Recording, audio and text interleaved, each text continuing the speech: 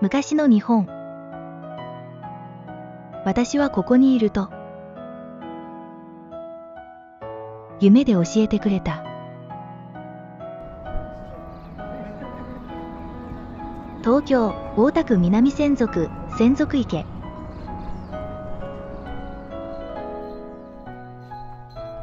赤い橋を渡る。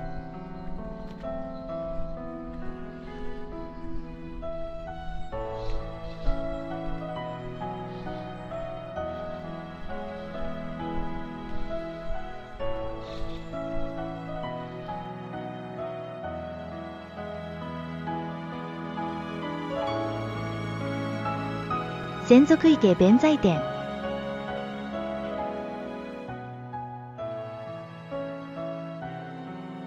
創建の年代は不詳。古来より千族池の守護神として池の北端の小島に祀られていたが長い年月の間に池の中に没してしまっていた。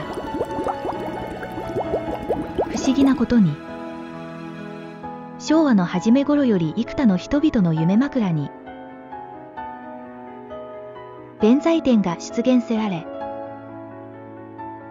それが契機となって五社殿建立の話が具体化し多くの人々の尽力によって神社が再建された。